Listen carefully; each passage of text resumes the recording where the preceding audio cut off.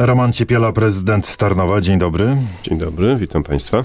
Panie prezydencie, jak pan ocenia wczorajszy chaos, bo tak to można określić na sesji Sejmiku Województwa Małopolskiego? A pytam pana bardziej jako wcześniejszego wicemarszałka Małopolski. Co dla pana teraz jako prezydenta na pewno ma znaczenie, kto będzie nowym marszałkiem? Pana zdaniem w co gra PSL?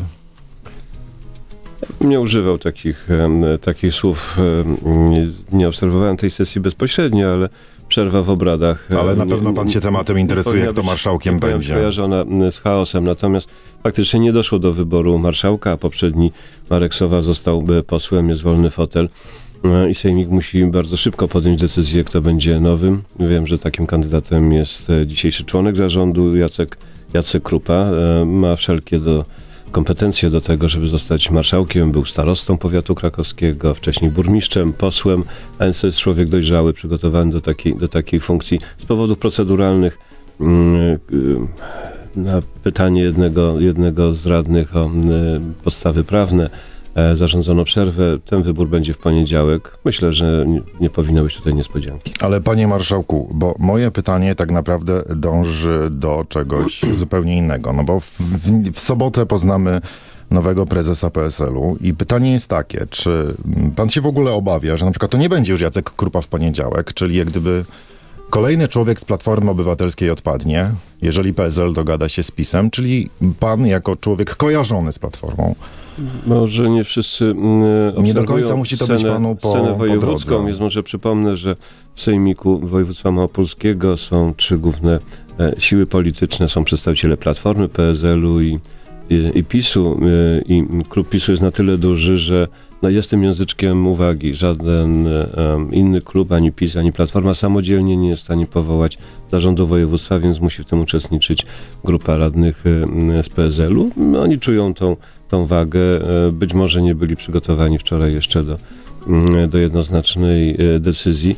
Em, Niemniej jednak koalicja z- ośmioletnia, a nawet, nawet dłużej, bo przecież członkowie PSL-u jeszcze dłużej są e, niż 8 lat w zarządzie e, województwa, e, pozostawia za sobą całkiem dobrą historię. E, Małopolska rozwija się e, bardzo e, dobrze wykorzystaliśmy fundusze europejskie. Mówię to również z pozycji wicemarszałka, który uczestniczył przez 8 lat e, w tym e, zarządzie, więc nie widzę powodu, żeby dokonywać radykalnej zmiany. Oczywiście wszystko w rękach, w rękach radnych. Ale panie prezydencie, no powodu może nie ma, ale sytuacja polityczna jest no, zupełnie inna To byłoby, nie, obecnie. to byłoby niedobrze, gdyby wyłącznie polityka decydowała o, e, o takich wyborach.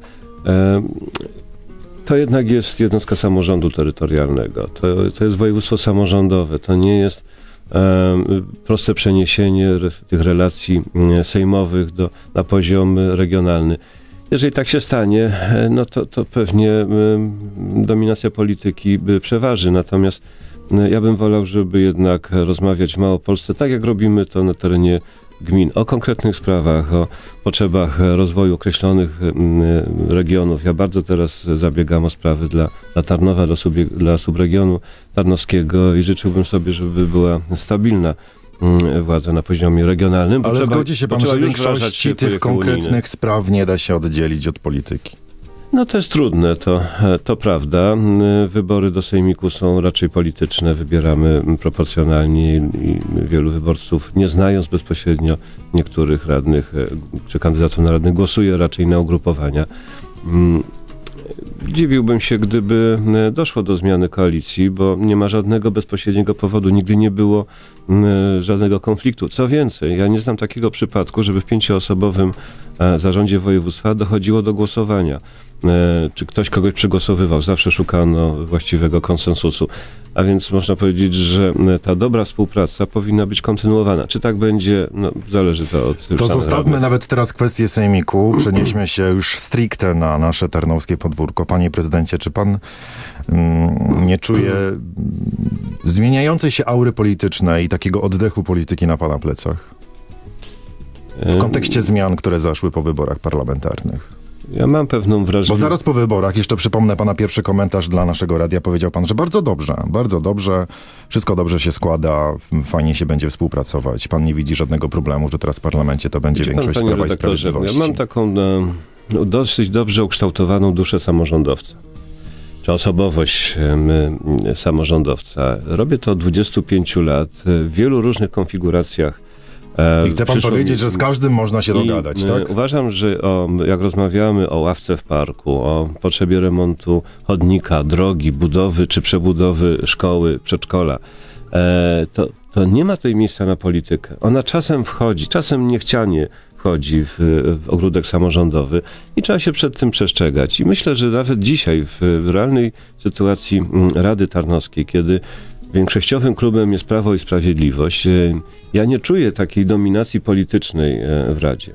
Bardzo długo dyskutujemy o konkretnych e, sprawach.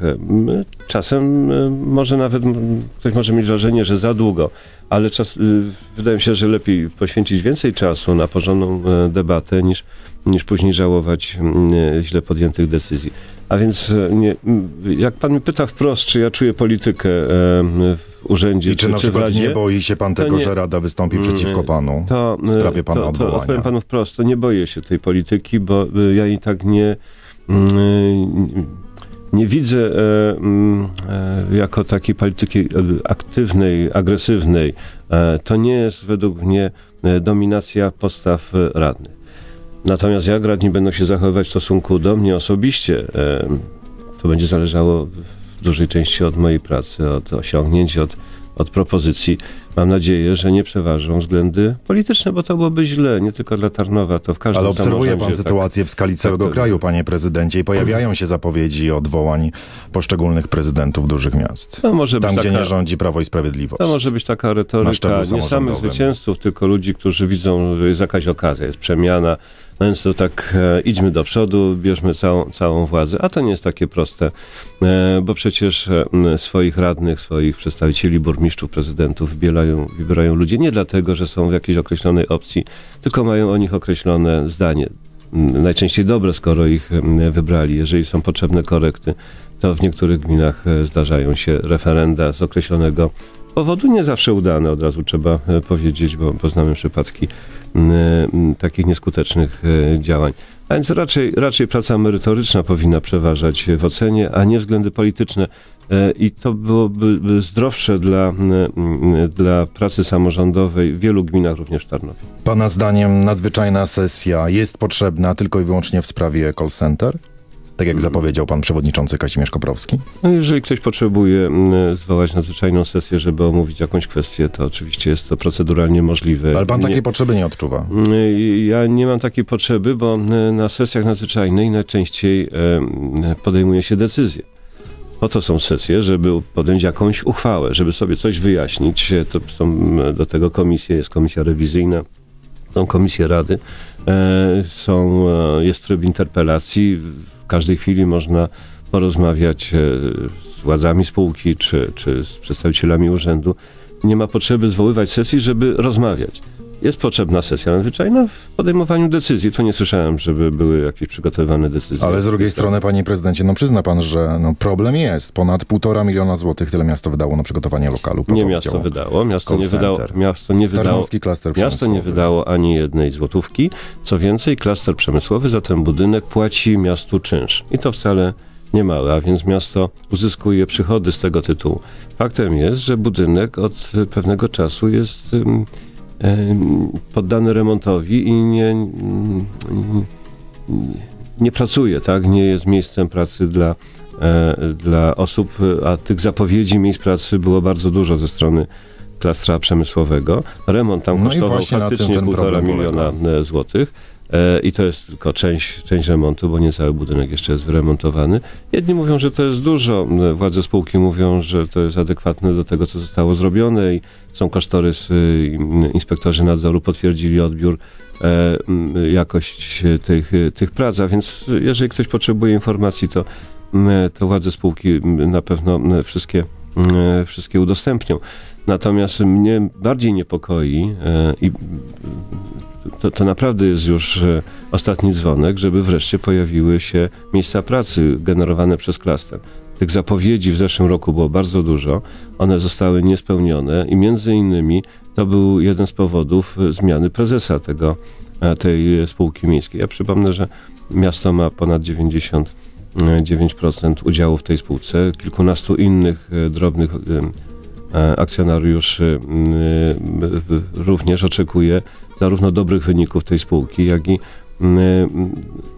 no, działania na rzecz rozwoju gospodarczego miasta. Dlaczego tak mówię? Ponieważ klaster no teraz można powiedzieć, jest spółką komunalną, został wyposażony w grunty i w majątek po to, żeby go udzielać, udostępniać przedsiębiorcom, a ci z kolei, żeby byli aktywnymi inwestorami.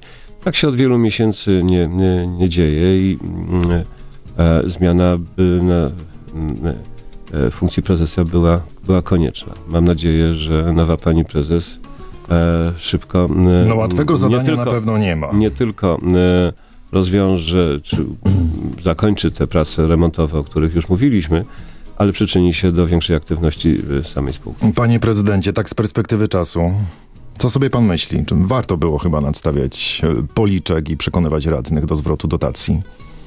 Załącznik. Ja nigdy nie miałem wątpliwości, że jeżeli mm, e, jakaś inwestycja, a w tym przypadku ten łącznik, e, został źle przeprowadzony, to należy oddać europejskie pieniądze, bo konsekwencje braku zwrotu mogłyby być tragiczne dla miasta. Już mm, kwota 80 milionów złotych wielokrotnie została wypowiedziana jako ta, która groziła miastu do, do zwrotu. W związku no, z tym kwota, która miała być głównym straszakiem, bo tak ta, to było. I to było realne zagrożenie.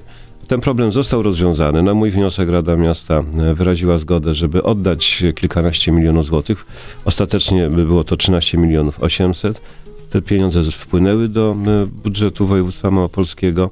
Złożyliśmy również wniosek na finansowanie innych inwestycji i właśnie dostaliśmy informację, że 15 milionów 100 tysięcy zostało przyznane miastu na sfinansowanie już zakończonego remontu ulicy Mickiewicza Spokojnej i Rondana. Czyli panie mm, prezydencie o ponad milion Czyli ponad milion, więcej. milion sto, blisko milion dwieście tysięcy więcej niż zwróciliśmy, a więc osiągnąłem efekt bardzo e, jednoznaczny.